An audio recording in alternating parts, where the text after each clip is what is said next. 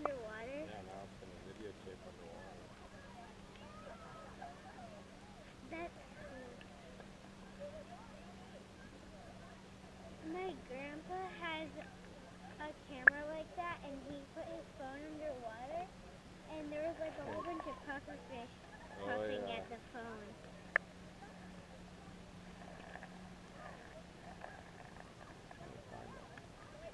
Bullhead.